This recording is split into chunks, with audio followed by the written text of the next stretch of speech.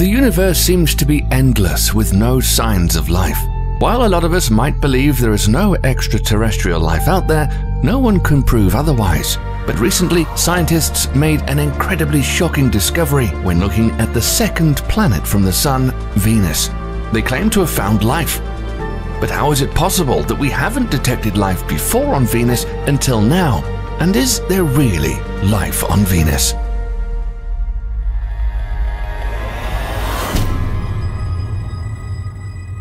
Venus is an incredibly hot world, but research seems to suggest it once had vast oceans. It's possible that Venus could have been as habitable as the Earth, but in the last billion years, greenhouse gases transformed the planet from an oasis to the uninhabitable hell it is now.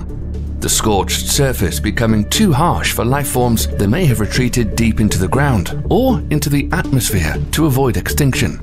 In order for us to look at the possibilities for life on the planet, it's interesting to know a little bit about Venus and its evolutionary history. Chances are you've seen the planet Venus many times and didn't know it.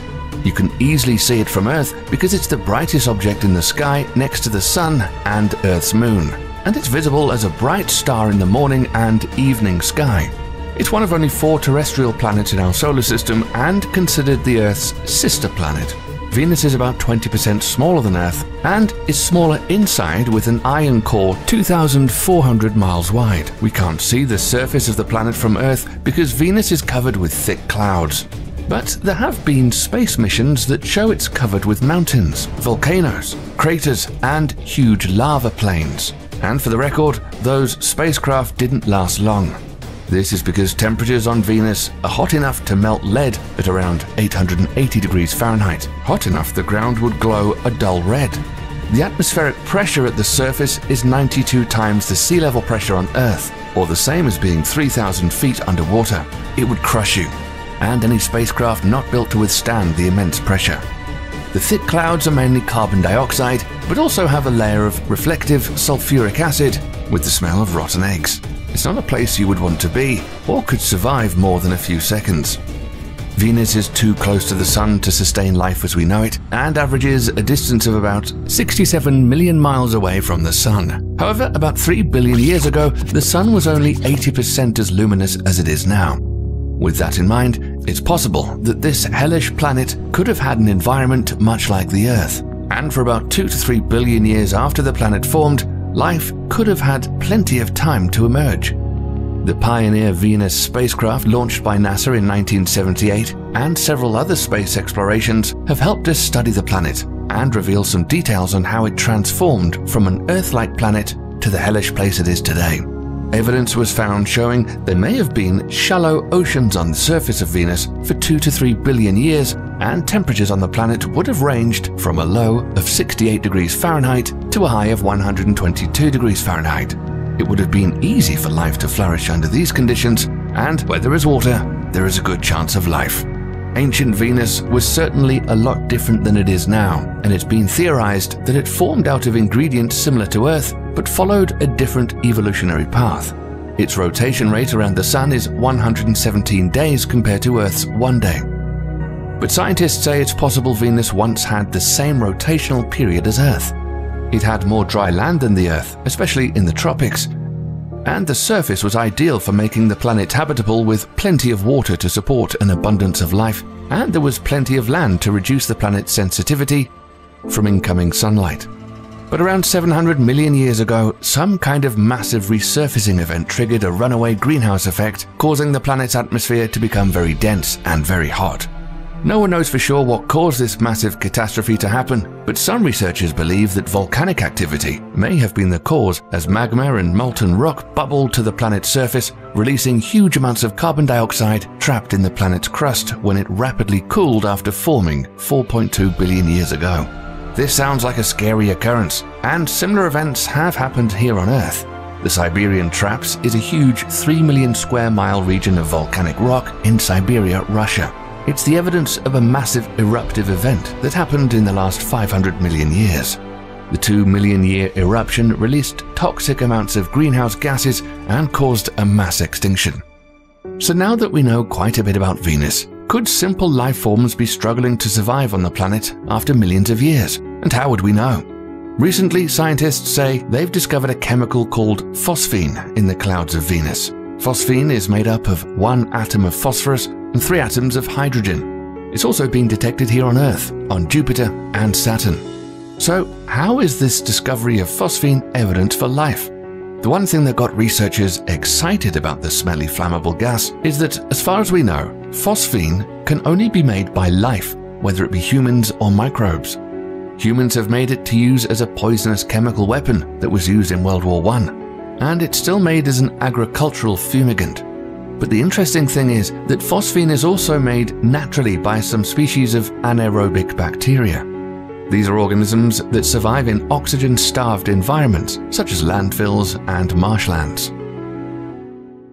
With that in mind, researchers set out looking for phosphine on other planets, since finding it could indicate the presence of alien metabolisms, and they found it in the clouds of Venus. Using the largest astronomical telescope in the world, the James Clerk Maxwell Telescope and the Atacama Large Millimeter Array Telescope, researchers measured trace gases in the Venus atmosphere. Phosphine should not be in the Venusian atmosphere at all. It's extremely hard to produce, and the chemicals in the clouds should destroy the molecules before it can accumulate in amounts large enough to be observed. So, what could be creating the phosphine? Some scientists say it's too early to conclude life does exist on Venus and that the data needs to be verified, and the phosphine fingerprint could be a false signal introduced by the telescopes or data processing.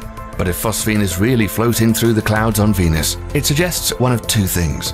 Alien life forms are linking together phosphorus and hydrogen atoms, or there is some completely new chemistry that we don't know about that's creating phosphine in the absence of life. Despite the sulfuric acid in the clouds of Venus, they also carry the basic ingredients for life as we know it sunlight, water, and organic molecules. And scientists have speculated for nearly 60 years that life could possibly exist on the planet. Near the middle of the cloud layer, temperatures and pressures are nearly Earth like, and there are molecules in the planet's air that alien microbes could metabolize. The possibility of finding bacterial life in the clouds of Venus is important, because the earliest evidence of life on Earth comes from fossilized mats of cyanobacteria called stromatolites in Greenland, which are around 3.7 billion years old. But the fact that life could live in such extreme environments is something we already know about.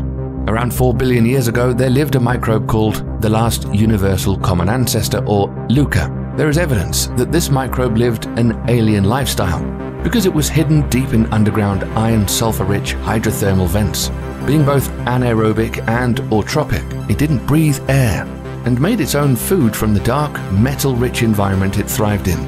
This microbe's metabolism depended on hydrogen, carbon dioxide, and nitrogen, which it turned into organic compounds such as ammonia. The most remarkable thing of all was this tiny life form was the beginning of a long lineage that covers all life on Earth. Now that the biosignature of phosphine gas has been discovered in the clouds of Venus, there are missions being planned by several institutions, including California's Rocket Lab, who plan to send a spacecraft to Venus in 2023 to hunt for definitive signs of life. The mission will use two pieces of Rocket Lab hardware the 57 foot tall Electron booster, which is currently used to launch small satellites into space, and the Photon satellite bus, which recently made its debut flight. The Photon will launch atop the Electron booster, then it'll make its way to Venus on a flyby trajectory. When the Photon gets close enough, it'll deploy a probe into the atmosphere. Its goal will be to hunt for signs of life in the deck of Venus air that is habitable. But before the mission, everyone will get a chance to see the Electron and Photon in action, as it's booked to take a NASA satellite to the Moon in early 2021. And speaking of NASA going to Venus, they have four finalists for the next round of Discovery missions. Two of these newly announced finalists are targeting Venus. One of these is the Da Vinci Plus mission, which would send a probe down through the thick Venusian atmosphere while gathering data on the way. The second is the Veritas mission, which is set to map Venus's surface in detail from orbit. This probe's observations would help show the planet's geological history and could confirm if volcanism and plate tectonics are active on the planet today. Many planetary researchers say that Venus is truly undervalued and that we need more missions to study the planet to get a more detailed understanding of its history and its evolution. This could help us understand what happened to the planet and if our planet is next and will end up like Venus. Since the beginning of the space age, mankind has developed many new technologies to help better study the universe, our galaxy, the solar system, and look for evidence of extraterrestrial life. Look at this tiny pinhole of light in space. That's us. That's planet Earth. On August the 25th, 2012, 35 years after it was launched, Voyager 1 left our solar system on its way out, it snapped a photo of the Earth from 3.7 billion miles away before turning off its cameras to conserve power. Now it's reached interstellar space, and after 43 years and 4 months, the spacecraft still communicates using the Deep Space Network. But Voyager 1 found that interstellar space is a lot weirder than we thought. What have we discovered, and why is it so important?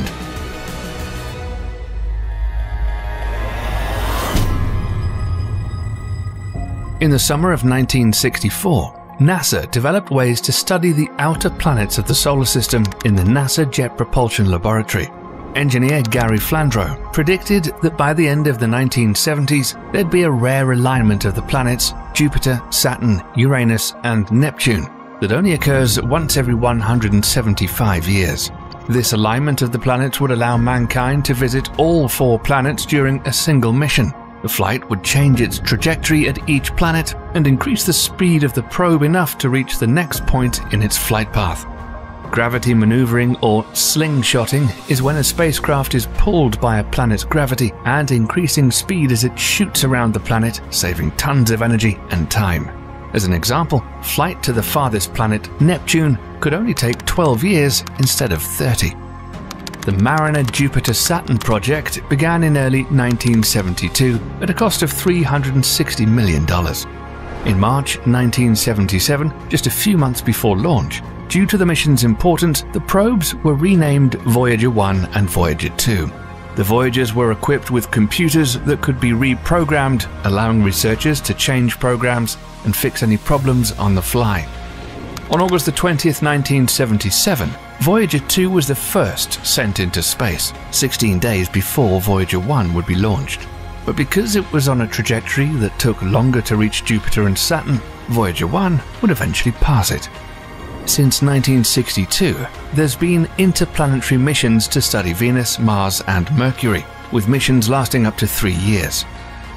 But the probes would need to last long enough to be part of the Grand Tour project at NASA, which needed two probes to study the four gas giants Jupiter, Saturn, Uranus, and Neptune.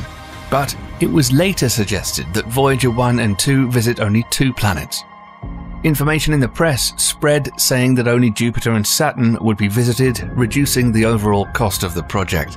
Experts looked at over 10,000 trajectories before they chose two that would allow them to fly by Jupiter's largest moon, Io, and then Saturn and its largest moon, Titan. This route also gave the spacecraft the opportunity to continue towards Uranus and Neptune. The thought of extraterrestrial civilizations intercepting these probes was on the minds of researchers. American astronomer Carl Sagan, along with his team, created a golden record with 115 images encoded in analog form, spoken human greetings in 55 languages, a variety of natural earth sounds like wind and thunder, sounds of animals like birds and whales, and different music from around the world. Hello from the children of planet Earth. Which probe made the first planetary mission? The original mission plan was for the Voyagers to operate and last only five years. It would be long enough for them to study Jupiter, Saturn, and its rings, and the two planets' largest moons. However, as the mission continued, the ambitions of scientists grew, and the Voyagers outperformed well beyond what was expected. On March 5, 1979, Voyager 1 was 173,983 miles away as it approached Jupiter and was able to snap images of its moons Io and Europa. And although Jupiter has been one of the most studied planets in our solar system, new photographs gave researchers unseen angles and more information about these planets as if they were new worlds. The new images of Jupiter's closest moon, Io, had yellow, orange, and brown surface colors, showing scientists evidence of volcanic rock. At least eight active volcanoes were spotted on Io, shooting material into space, and stunning images of this were captured when Voyager flew by. Io turned out to be the most volcanically active body in the solar system. A little over a year after launch, Voyager 1 approached Saturn on November 12, 1980. Expectations were greatly met, and researchers were able to expand their understanding and knowledge of Saturn. Three new moons were discovered Prometheus, Pandora, and Atlas. But the biggest accomplishment was getting new information about Saturn's largest moon, Titan. It's the only moon in the solar system that has a thick atmosphere. Similarly, it was discovered that the upper layers of Saturn's atmosphere consists of 7% helium and the rest is hydrogen. Voyager 1 also discovered Saturn's G-rings, disc-shaped plains made of ice and dust. Another interesting discovery was Saturn's sixth largest moon, Enceladus, which was found to reflect more solar light than any other object in the solar system because of the fresh, clean ice covering its surface. Images were captured that showed its crater-ridden landscape, indicating some geological activity under the surface that could be a source of heat for a liquid ocean.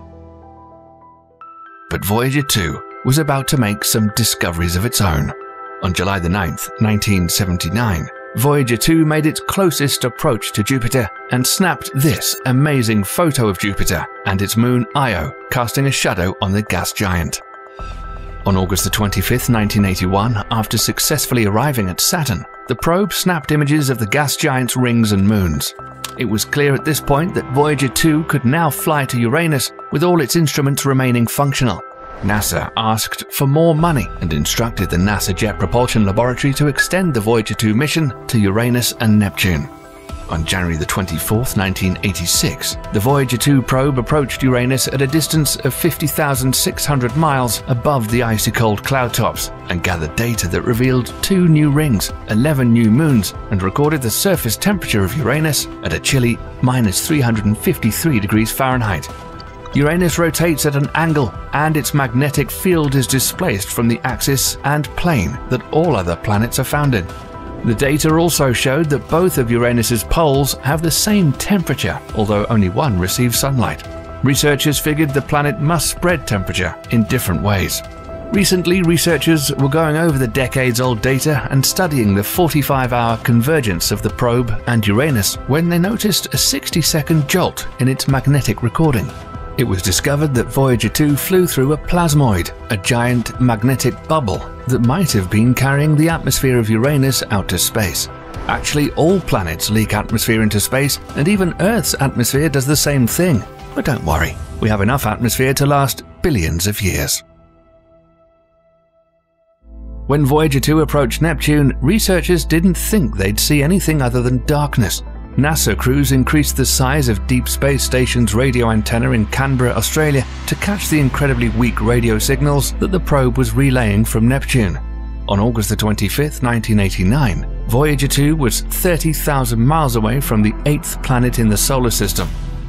Approximately 30 times farther from the Sun than the Earth, Neptune receives only 0.01% more sunlight than the Earth. In almost complete darkness, Voyager 2 started taking mysterious photographs. They revealed the makeup of the blue planet, showing the presence of methane, six new moons, and four rings. Like Saturn and Uranus, the rings and Neptune's four moons made a complex, interconnected system. The probe also discovered winds measuring 1,500 miles per hour around a strange, previously unseen place on Neptune named the Great Dark Spot a massive rotating storm the size of the planet Earth. In fact, both planets, Uranus and Neptune, are known for strong winds that can reach supersonic speeds 10 to 15 times stronger than on Earth. Uranus and Neptune were originally thought to be gas giants, but in the 90s it was discovered that they were made up of heavier substances and they became a distinct class of planets called ice giants. Triton was no less impressive, this moon of Neptune is located to the planet's north. It's the coldest of all natural bodies astronomers have discovered at a frosty minus 391 degrees Fahrenheit. Voyager 2 was able to approach the planet at a distance of about 25,000 miles and discovered active geysers that spewed nitrogen into space. Triton was the final object that the space probe would meet in the solar system before heading out into the great unknown. Where will the Voyagers go next?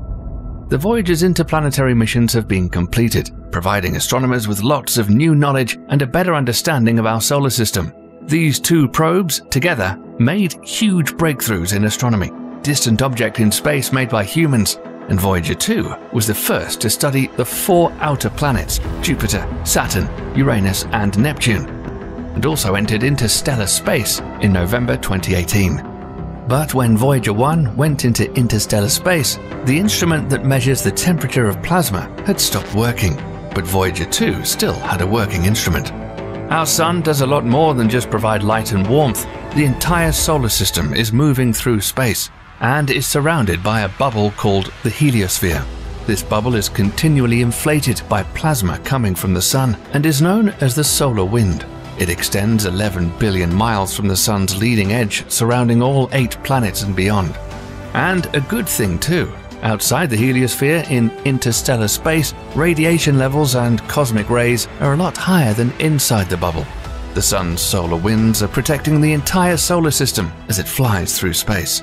The heliosphere extends far beyond the region of Pluto until it encounters what is called the termination shock, where its motion slows abruptly because of the outside pressure of the interstellar medium. Voyager 2 discovered that the interstellar medium was at least 54,000 degrees Fahrenheit, but the plasma is so thin and diffuse that the temperatures around Voyager 2 remained extremely cold. The Voyagers have started supplementary missions to study the outer regions of the solar system in interstellar space. These two probes are still speeding across interstellar space and will never return to the solar system and only have the infinite reaches of space ahead of them. NASA's website shows where the Voyagers are in real time. They're getting further and further away from the Earth, every day letting us know we could expect the unexpected. It seems there's no other place in the universe with a dense atmosphere. Mountains, sand dunes, plains, lakes, rivers, and oceans, except the planet Earth. But it turns out there's actually a place much like the Earth in our solar system that has a complex weather cycle, landscapes carved by liquid, and volcanic activity. It may even resemble the Earth in its earliest stages, and some scientists think it might be better to colonize it first instead of Mars.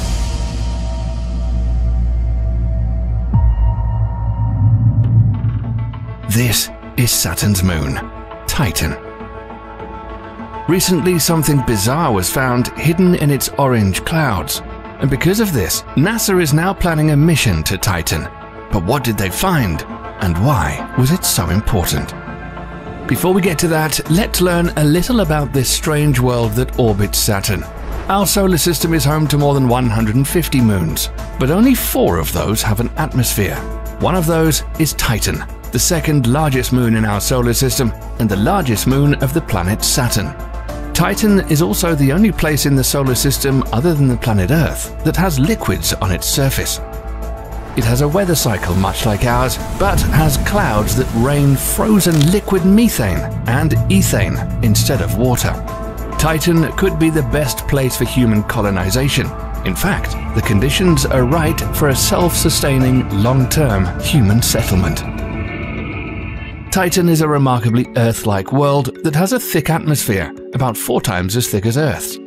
The atmospheric pressure is about 60% greater than on Earth.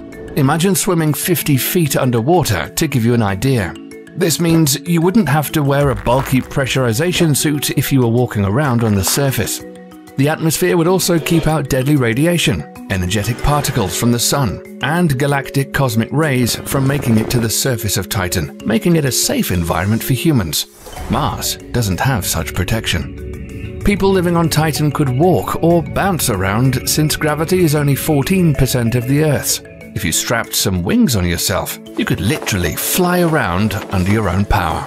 But it's very cold on Titan, because on average it's 886 million miles from the Sun.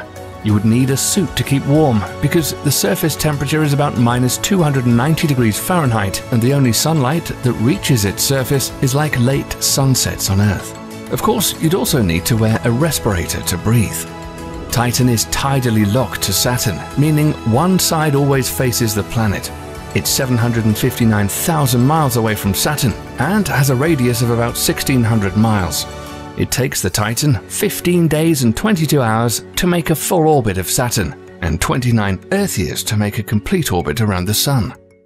No one is certain what Titan looks like under the surface, but on January 14, 2005, the European Space Agency's robotic lander Huygens made a dramatic descent through the moon's orange, smoggy atmosphere and landed on the surface of the moon. The camera on Huygens shows a desolate looking surface and captured the trademark yellow haze, which revealed intricate details of the atmosphere's layers, winds, and mysterious chemical processes. Based on data from the Cassini Huygens mission, Titan has five primary layers of rock. The soggy moon has a core of water bearing silicate rock surrounded by a shell of special water ice called Ice 6 that's found only at extremely high pressures. This high pressure ice is surrounded by a layer of salty liquid, and an outer crust of water ice sits on top of this. The surface is coated with organic molecules that have rained or settled out of the atmosphere in forms of sands and liquids. The presence of lakes and seas on Titan brings up an interesting question. Could there possibly be any forms of life there? In 2005, scientists at the Southwestern Research Institute in Texas and Washington State University said that several of the crucial elements for life on Earth are also on Titan, even though the conditions are far harsher than Earth. Some life forms are a lot tougher and stranger than we think. Take, for instance, Deinococcus radiodurans bacteria, an extremophile that was in outer space for three years outside of the International Space Station, enduring microgravity, harsh ultraviolet radiation, temperatures near absolute zero, and still managed to survive. If there's life on Titan, it could be hidden underground, and a lot weirder than we think. The Cassini spacecraft revealed that the moon is hiding an underground ocean of liquid water mixed with salts and ammonia. Titan could potentially have environments with conditions suitable for life as we know it in the subsurface ocean, or bizarre alien life that we don't know about yet in the hydrocarbon liquid on the surface. But what happened there recently that drew our attention there? In 2016, a team of scientists identified a molecule called cyclopropenylidene, C3H2, in Titan's atmosphere that's never been detected anywhere else except deep space. The discovery was made using the Atacama Large Millimeter Array, ALMA, that's made up of 66 radio antennas. These all work together, creating a single giant telescope. ALMA uses a technique known as interferometry, where all antennas are pointed in the same point in the sky, the antennas pick up a signal from the target in the universe and join forces to analyze the signal. By combining radio waves from the antennas using a supercomputer, researchers can obtain extremely high precision images. In order for ALMA to get these images, there must be a perfect synchronization between all 66 antennas and the electronics with the precision of a millionth of a millionth of a second. Using this incredible technology, researchers found something they didn't expect to find a weird molecule called cyclopropenylidene. C3H2 is a strange organic molecule that doesn't exist terrestrially on Earth and can only be seen in a laboratory. C3H2 was first discovered in clouds of gas and dust throughout the Milky Way, including the Taurus molecular cloud. This simple carbon-based molecule may be a precursor to more complex compounds, and it could form or even feed possible life on Titan, like organic molecules that formed life on Earth between 3.5 and 3.9 billion years ago. C3H2 is the only other cyclic or closed loop molecule besides benzene to have been found in Titan's atmosphere so far. Closed loop molecules like it are important because they form the backbone rings for the nuclear bases of DNA and RNA, which is also a critical compound for life's functions. However, C3H2 is not known to be used in any modern day biological reactions. NASA says the molecule could be an indicator for life, since something has to be generating an unstable molecule. If there is life on Titan, it would be incredibly different from water based life forms we know of.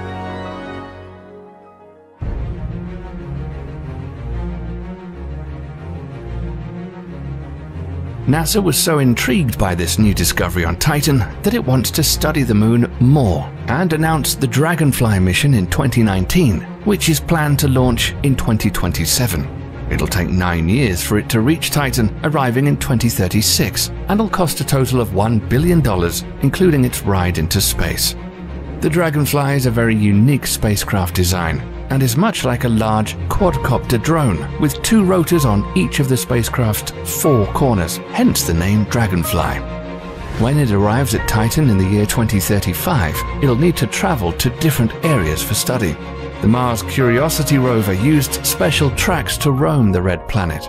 But with Dragonfly, scientists decided to take advantage of the moon's low gravity with a flying vehicle.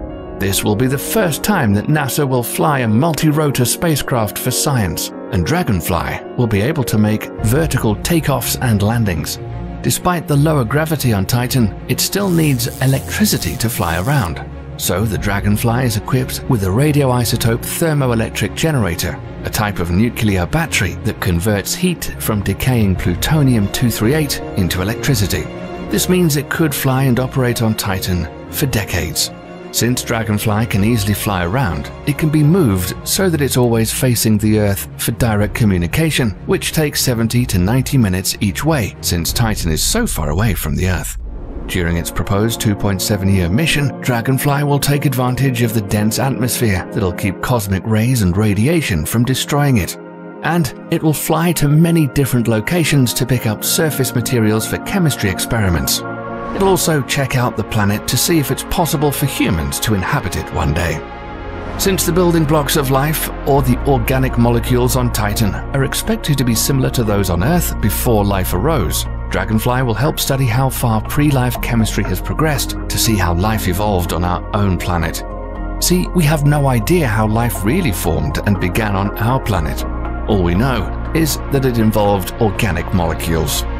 Dragonfly will check out the moon's atmosphere, what the surface is made of, and the ocean that lays below the surface looking for complex organic materials that are the keys to life.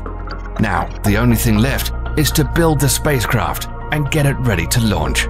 Even if we don't find what we're expecting there, the Dragonfly mission will show us a lot more about Titan. It seems that we may soon find life on another planet or moon, and that'll be a very exciting time for science and humanity.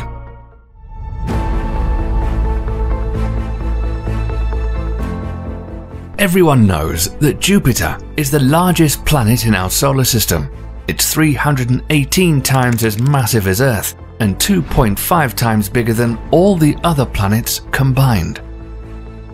It's a gas giant, and for a long time, scientists haven't exactly known what lies beyond the violent swirling clouds in the atmosphere. But now, scientists have discovered what the inside of Jupiter really looks like. What have they found? And has Jupiter really saved the Earth from total annihilation because of its incredible size?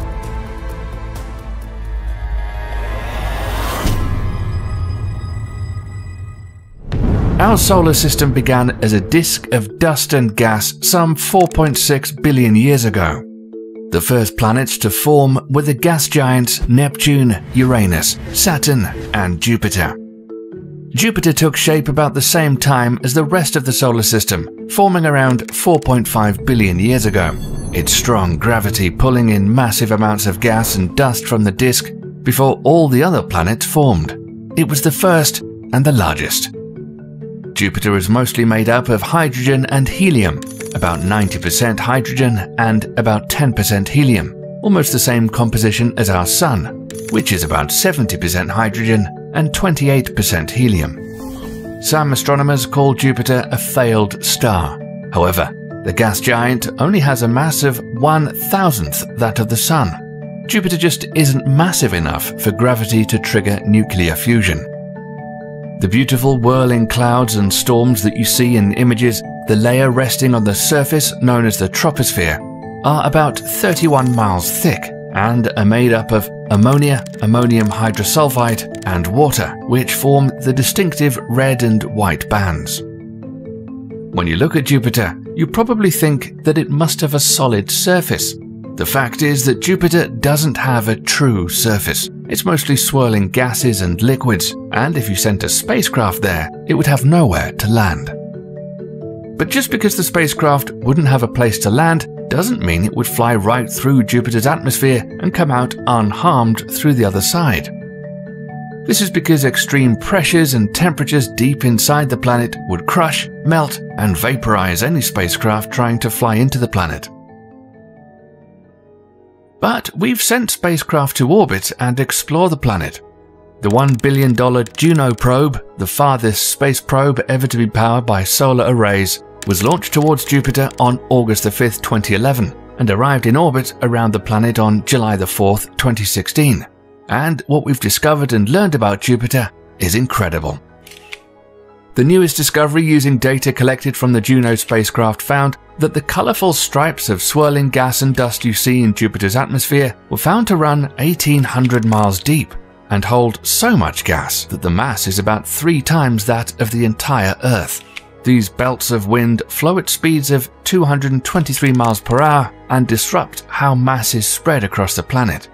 It was also discovered that Jupiter's atmosphere is rotating differently, with zones and bands rotating at speeds that are different by up to 328 feet per second. Those bands on different colors you see are actually traveling in opposite directions. Lighter bands move in the direction of Jupiter's rotation, circling the planet faster than it spins, and the dark colored bands move slower in the opposite direction and take longer to move around the planet. So, how does a giant ball of gas floating around in space stay together and form a planet? The Jovian magnetosphere is the cavity created in the solar wind by Jupiter's powerful magnetic field, ballooning 600,000 to 2 million miles and tapers into a tadpole shaped tail extending more than 600 miles behind Jupiter. This magnetosphere is the largest and most powerful of any planetary magnetosphere in the solar system. Jupiter's magnetic field is generated by electrical currents in the planet's outer core, which is composed of liquid metallic hydrogen. This magnetic field was found to be almost 20,000 times as powerful as Earth and rotates, with the planet sweeping up particles that have an electric charge. The electromagnetic storms they generate are so strong that they can be heard by amateur radio operators on Earth beamed towards us by plasmas and magnetic field lines. These signals are sometimes even more powerful than radio signals from the Sun. This magnetic field traps swarms of charged particles and accelerates them to very high energies, and creates intense radiation that bombards the innermost of its 67 confirmed and named moons, and would destroy anything that got close. Speaking of Jupiter's moons, scientists have recently discovered an FM signal emanating from one of Jupiter's moons, Ganymede. If you want to see a video about this mysterious signal and Jupiter's giant moons, let us know in the comments. By now you may be wondering, does Jupiter have a solid inner core? Studies have found the planet's interior moves as a single body and behaves as if it were a rigid solid, despite its fluid nature. For now, we simply do not know if Jupiter has a solid core or not, but the Juno spacecraft should be able to help discover this, and what the mass and makeup of this solid core is if it exists. We do know that at Jupiter's core, whatever it's made of, the pressure is about 100,000 times the pressure on Earth. The Great Red Spot is one of the most iconic features of the planet. It's a massive storm the size of the Earth that's been raging since it was first sighted in 1831. Trapped between two jet streams, it's called an anticyclone that swirls about a center of high atmosphere pressure and rotates in the opposite direction that hurricanes do on Earth. It's the largest storm in the solar system with wind measured around 400 miles per hour. Compare that to the fastest wind speed ever recorded on Earth of 231 miles per hour. One day this great red spot could end up disappearing completely, and scientists say that it's been shrinking since the 1800s, and many and may only last another 20 years. NASA's Juno spacecraft was able to snap incredible images of the planet as it passed at 5,600 miles above the giant red spot clouds in July 2017. One of the amazing things that was discovered is that deep in the atmosphere, pressure and temperature increase greatly and compress the hydrogen gas into a liquid. This gives Jupiter the largest ocean in the solar system, which is made of hydrogen instead of water. Juno also grabbed some spectacular images of the gas giant's poles, discovering another incredible wonder of the planet. At the north pole of Jupiter, a huge persistent cyclone is visible and encircled by smaller cyclones ranging in size from 2500 to 2900 miles. On Jupiter's south pole, the same thing was discovered as Juno did a flyby and using infrared cameras imaged a cyclone the size of the entire USA, with five other cyclones swirling around it in a geometric pattern, which also rotate counterclockwise. The NASA Galileo spacecraft was likely the first to discover these hotspots when it accidentally flew through one on its way to a planned demise to the surface of Jupiter. When the spacecraft was almost out of fuel, NASA deliberately sent the craft on a no-return plunge into Jupiter on September 21, 2003. This was done to protect the moon Europa, which some say has a subsurface ocean that could contain life. It's worth mentioning that we probably should be thankful for the planet Jupiter's size and the powerful magnetic field that it generates, because it's possible that Jupiter has saved the planet Earth from certain doom. People were laughing at the prospect of an asteroid or comet hitting the Earth in the late 80s and early 1990s, but then something happened that would quiet that laughter. The comet Shoemaker-Levy 9 was discovered by Carolyn and Gene Shoemaker and David Levy on March 18, 1993, using the Schmidt telescope at Mount Palomar. Scientists calculated the comet was originally 1 to 1.2 miles wide However, tidal forces from Jupiter's powerful gravity had broken the comet into more than 20 pieces as it made its close approach to the planet sometime in 1992. But the biggest revelation was scientists saw that the fragments were going to smash into Jupiter, and luckily for NASA, its Galileo orbiter was still on its way to the gas giant. Many Earth based telescopes and orbiting spacecraft, such as the Hubble telescope, all were focused on the incredible event that was about to happen. The fragments of the comet were lined up like a freight train and collided with Jupiter's atmosphere, unleashing the force of 300 million atomic bombs. The fragments created huge dark spots in the clouds that measured 1200 to 1900 miles and heated the gas giant's atmosphere to temperatures as hot as 53,000 to 71,000 degrees Fahrenheit. If a comet of this magnitude hit the planet Earth, the results would be devastating, with impacts sending dust and debris into the sky, which would cool the atmosphere and absorb sunlight and envelop the entire planet in darkness. This historic Jupiter comet impact is what led to planetary defense. But fear not, this type of collision was very rare, and scientists say probably only occur every few centuries. Or do they? On August the 7th, an amateur astronomer was looking at Jupiter through his telescope when he captured an asteroid colliding with the atmosphere of Jupiter, creating a white flash visible in the clouds. Some scientists say these impacts are inevitable, with the amount of objects floating around in space and Jupiter's massive gravity tugging on anything that gets close to it. We could say that Jupiter's like Earth's big brother and likely protecting us from asteroid impacts. We've learned some new things about Jupiter and how its layers of atmosphere are made up. And we've also been able to image the planet in striking detail, piecing together images captured at the perfect moment for clarity called lucky imaging. The highest resolution image of Jupiter ever seen has been created in thermal infrared light. In the photos, you can see the familiar banding. Bright regions are clear air, where heat from inside the planet can leak out and darker regions are where the thick clouds block the heat from escaping.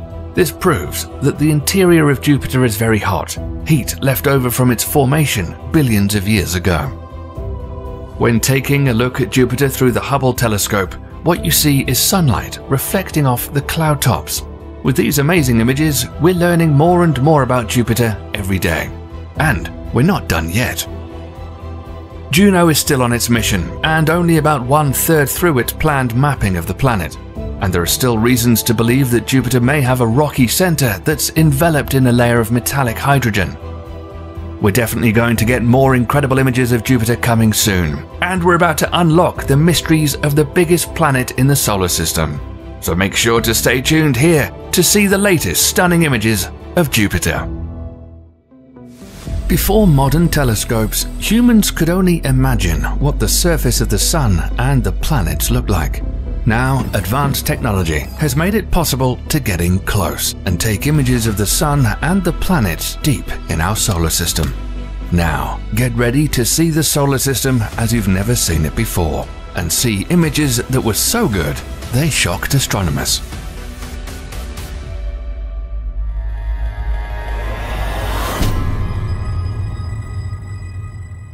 Burning with the energy of a trillion nuclear bombs per second, the Sun is the largest body in our solar system, accounting for 99.86% of the total mass. One of the most dramatic images of the Sun was captured by the Solar Dynamics Observatory on August 31, 2012, when a long filament of solar material that had been hovering in the Sun's atmosphere erupted into outer space. This beautiful but deadly coronal mass ejection, CME, traveled at over 900 miles per second. The planet closest to the Sun, orbiting at an average distance of 36 million miles, Mercury, has been studied by many spacecraft throughout the years. But NASA's MESSENGER spacecraft was the first to orbit the planet. Images showed the surface covered in craters in all sizes and massive asteroid impact sites, like the Van Eyck crater, which is 168 miles in diameter, and the Caloris Basin, which is 960 miles in diameter, with mountains at the outer rim 1.2 miles high. These are images with spectral surface measurements that were taken on April 29, 2015. Messenger snapped more than 200,000 images of Mercury before ending its mission in 2015 with an intentional crash into the planet's surface. The probe's demise was inevitable, as Messenger had been orbiting Mercury since March 2011 and had run out of fuel. Right before impact, it sent back its final image, the highest resolution photo of Mercury ever captured. You'd think that Mercury would be the hottest planet because it's the closest to the Sun, but our next planet is actually the hottest in the solar system. The second planet from the Sun, and also Earth's closest neighboring planet, Venus has a thick atmosphere made up mostly of carbon dioxide, sulfur dioxide, and nitrogen gas, which traps the heat of the Sun, making it a hellish world. Venera 13 was a probe built in the Soviet Union for the Venera program to explore Venus. It was the first lander to transmit color images from the surface of Venus. Venus is a hot world, with surface temperatures as high as 880 degrees Fahrenheit.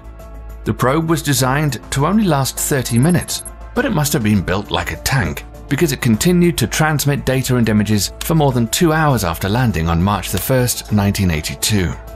NASA then sent the Magellan spacecraft to Venus in 1990 to image and map the entire surface. It sent back images of the planet's surface showing evidence of volcanism, tectonic plate movement, turbulent surface winds, and miles of lava channels including one measuring 5,550 miles long.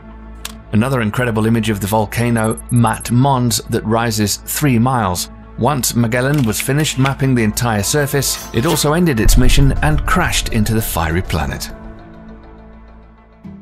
The third rock from the Sun, the Earth, is very unique and the only place known to have life in the solar system. There have been lots of amazing images taken of the planet we live on, but modern satellite photos are probably the most breathtaking, like this image from NASA of the Earth as it looks right now. This amazing true color image was taken by NASA's Moderate Resolution Imaging Spectroradiometer from 22,000 miles above the Earth and shows North and South America as they appear from orbit. The Moon also making a guest appearance in the background.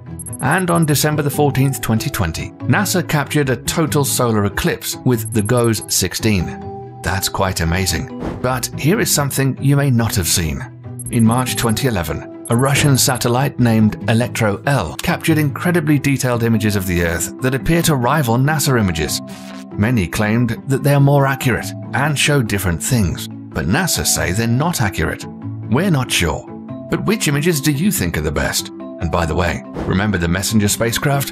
It snapped a photo of the Earth and of the Moon and sent us a postcard before speeding towards Mercury. Mars has always been of great interest to humans. The fourth planet from the Sun, the red Martian planet, has been studied heavily. The Viking Orbiter 1 took stunning snapshots of Mars in 1979, like this photo of the Valles Marineris. And the Viking 2 orbiter snapped an image showing the southern polar plains and polar ice cap.